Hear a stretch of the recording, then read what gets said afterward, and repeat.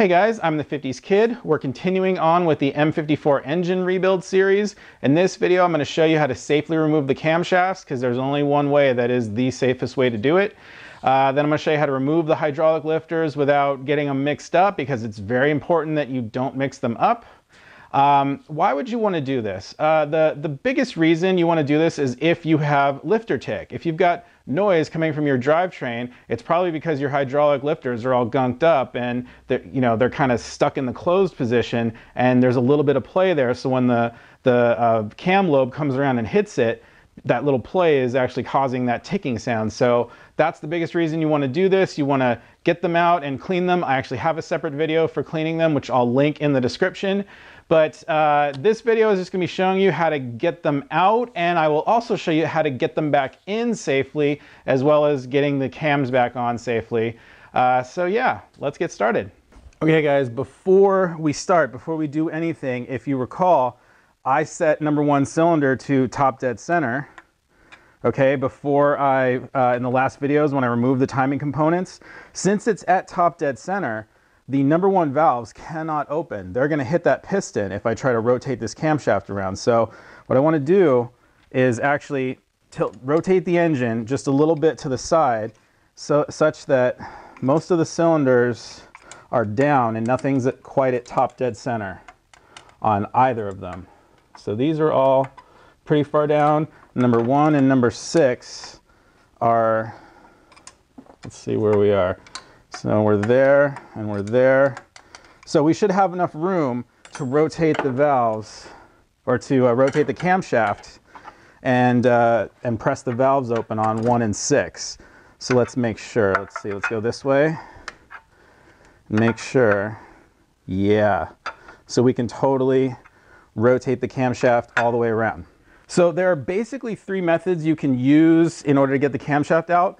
BMW makes a special tool which I believe uh, screws down into the spark plug sockets and that applies even pressure to all the cam caps at the same time so you can remove all the nuts and then you can lift off all those cam caps evenly all at once and that way there are no uneven pressures applied to the camshaft such that it will snap.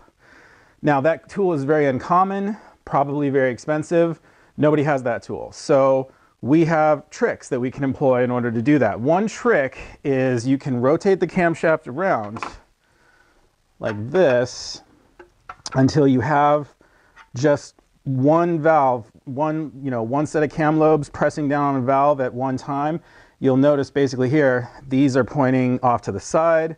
This, that's number one pointing off to the side. Number two is pressing down. Number three is up. Number four is kind of off to the side there. Number five is straight up. Number six is off to the side there. So we've only got pressure down on number three. And you can go ahead and get it off this way. What I would recommend you do is get your wrench in here and hold it and make sure that it doesn't spin as you're getting all the rest of these things off. Helps to have someone hold it probably. It might be a little easier for you. That's one way to go. But the thing is, you're not going to be able to reinstall it that way because having just one lobe pressed down, the camshaft's going to be up so high that when you have the cam cap on there and you're trying to get it back on, you won't really have enough threads to get the nuts started. So I don't recommend that way. I actually have a slightly altered method that I like to use. And that method is, we're going to go this way. We're going to set it such that You'll notice here, number two is just barely coming off of the lifter. Number four is just barely going onto the lifter and all of the other lobes are up or off to the side. So none of them are pressing down. So now we just have two and four that are vaguely, vaguely touching the lifters. This is the safest way to actually get the camshafts off as well as back on. What we're gonna do is remove all the other caps except for two and four first then we're going to take off the nuts from two and four a quarter turn at a time.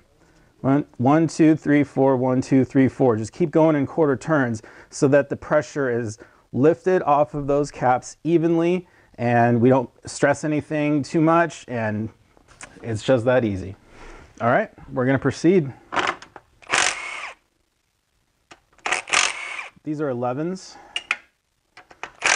So we're taking off one, that first one's just the, uh, the outside cap, I guess. I'm not sure what it's called exactly. So we're skipping two, and we're gonna do three. Skipping four, gonna do five and six.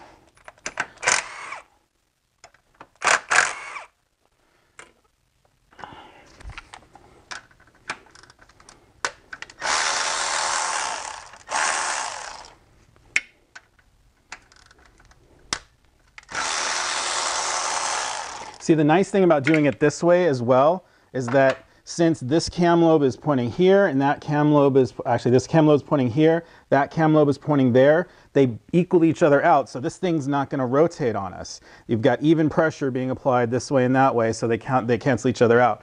So that's a really nice thing. You don't need to hold the camshaft. You don't need any help. You just, just do it like this.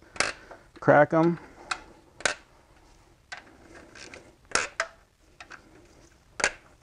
And now we'll just go quarter turns.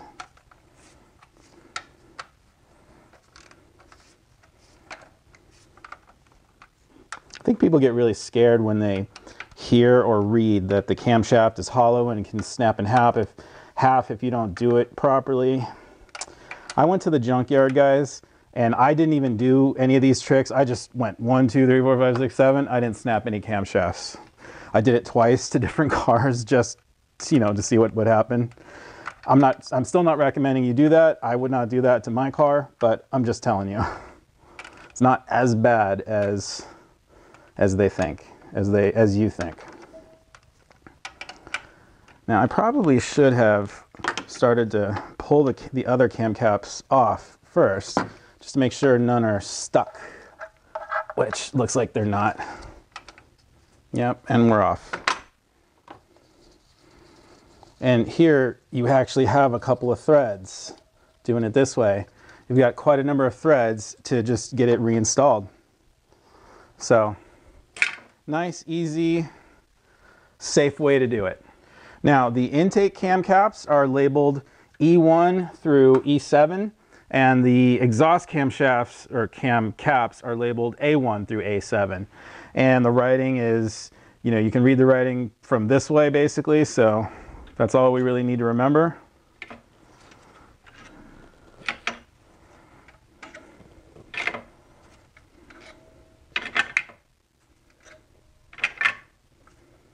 The thing that surprised me about these, these cam caps is they're really, really light. I don't know, I would have expected them to be so much heavier. And that's it. That's the way we're doing it. Now you just lift your cam out. And I'm gonna go ahead and wrap this with uh, some plastic that I have here just to protect it. So I've gone ahead and removed the exhaust camshaft using the exact same method. Didn't think you needed to see that. Now, I went out and got these from Home Depot, 40 magnets for two bucks.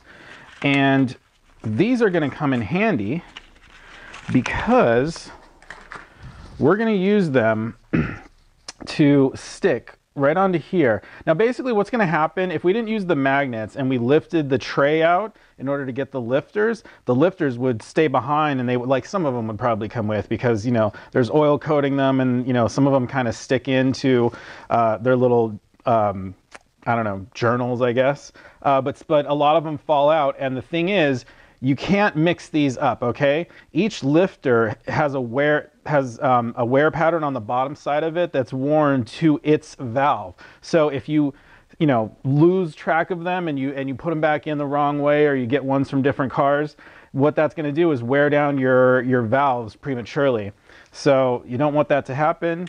And what you just use is some magnets just to prevent that from happening.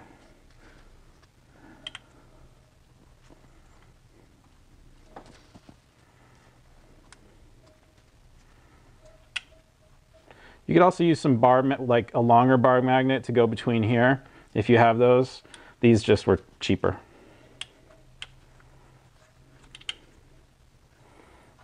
And if they're trying to go towards the center, flip them over because they're, the pole is the wrong way.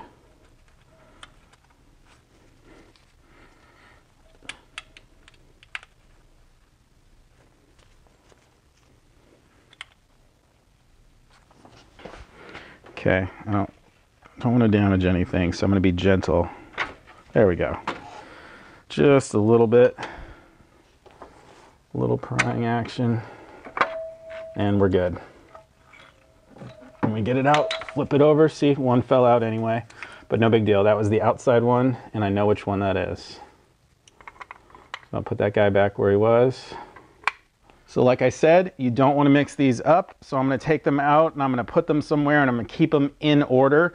Um, it's best to kind of come up with a little storage tray or storage system to uh, keep them in order. I didn't think of one. Uh, I didn't prepare one ahead of time. So I'm going to have to figure one out right now. But just as long as you understand, you're supposed to keep these things in order. So I think I'm just gonna keep them in the lifter tray just for now, set them off to the side. So now you have 24 lifters to clean. I have a video on how to clean lifters. I will link to it on the screen right here. Go ahead and review that. Okay, we're gonna go ahead and reinstall the lifters. Now, I wanna point out that there's an A on the side of this. A for exhaust, it's probably exhaust in German. Uh, the other one has an E on it, so if you mix them up, that's how you that's how you tell. So obviously I still had my magnets on there and you'll notice none of my lifters fell. Okay, we got all our magnets. One thing, okay, one thing I want to mention that I just read in the service manual is that these things, uh, once they're off the car, they actually could expand, okay?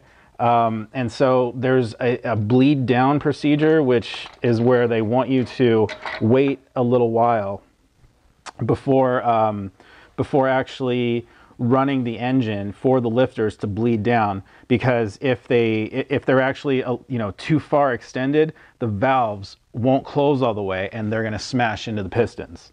So you need to wait just a little while. It just depends on temperature and you know give it give it half an hour and you're going to be good so I had the cam wrapped with uh, plastic wrap, just like kitchen plastic wrap. I'm gonna grab it from either side.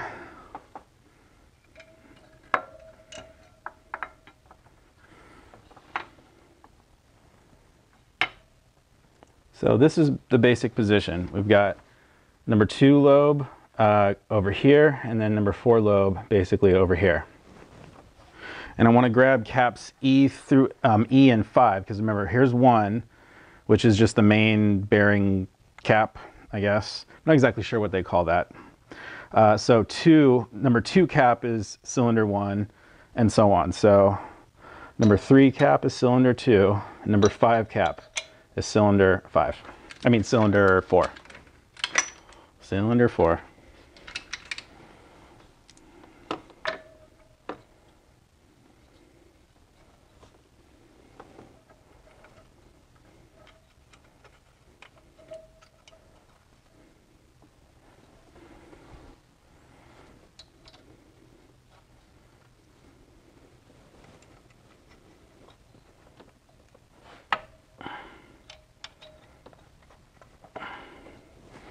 So you might have to press down just a little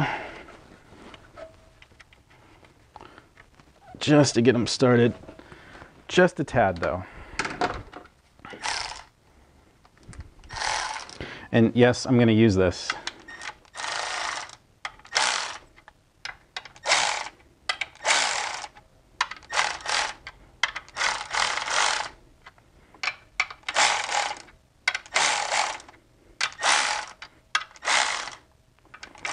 I'm just watching the amount of distance between the, you know, underneath the caps.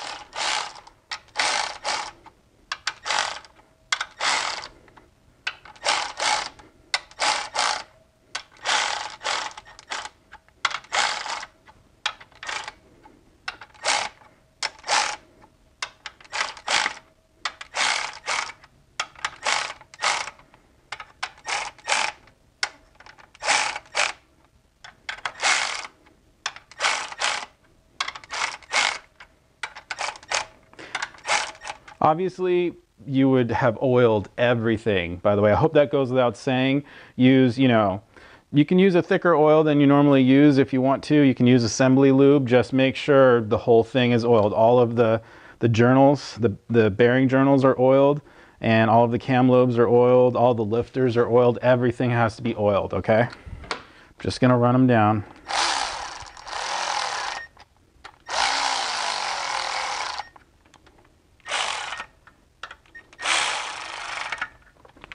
Okay, the torque is gonna be 15 Newton meters, which is 11 foot-pounds or 133 inch-pounds. And I'm going to use an inch-pound torque wrench because this is my most recently calibrated thing.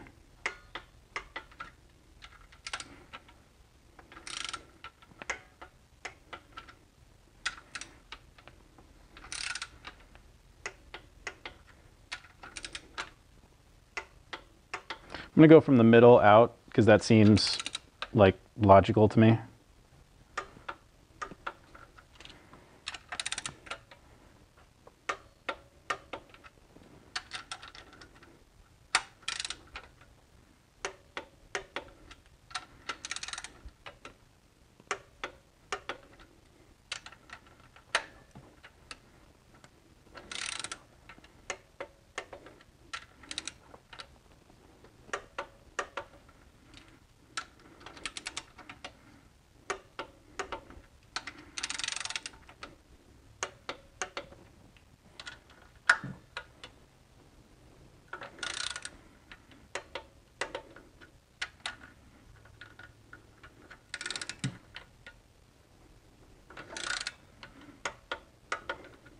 So I just want to confirm that I'm not near top dead center.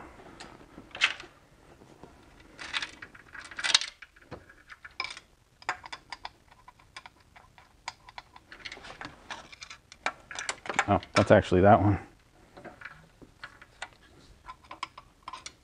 So we're there, we're there, down there, down, down, basically sort of up. So we're going to go down a little there. Yeah, down and down and down. I think we're basically pretty, pretty down on everything.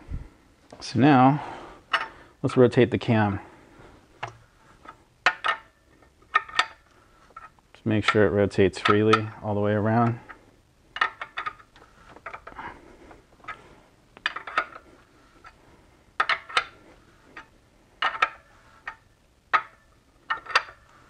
Looks like it does. One last thing, guys. I do, I do have the actual special socket for uh, removing the head bolts. You know, it just kind of fits down in there nicely. But you'll notice that the camshaft actually has like a little slot on the side right there. And it has that because it's actually possible to remove the cylinder head without removing the cams. The cams have little you know, they, they just have little cutouts so you can get the tool down in there. So as you can see, I've got the socket down on the head bolt right there. Be careful, this, this little ball could, you know, this little collar can, you know, get caught and the little ball could actually come out of there. But you don't need to use that special socket. I, if you have um, E-Torx sockets already, I've been using this uh, in the junkyard because I just happen to carry that. And that'll fit down on there as well. So you can totally use just some regular thin-walled E12 sockets, shallow or deep, it doesn't matter. And these will work. You don't need the special tool. I'm going to go ahead and pull the camshafts out just so you can see visually uh, the, the head bolts as I'm torquing them and removing them. Just, I think it'll just be a, a little bit better view. But you got, you know, you do not have to remove the, the camshafts at all if you want to remove a cylinder head. So that is it for removing and reinstalling your camshafts. It's actually really easy. If you follow this method, you won't have any problems. Um, if you use one of the other methods, if you try to have just one lobe pressing down and you try to reinstall it that way and you push down on the camshaft and try to get them on, you, you, you run the risk of actually pulling the studs out of the head. I've actually have a viewer who had that happen to him. Uh, and I think now he has to in, you know, install Time-Serts in order to get those long studs back into the head. So just be aware of that. Use the method I've shown in this video and you should be good. Anyway, If you enjoyed this video, please like and subscribe. I am the 50s Kid. Thanks a lot for watching.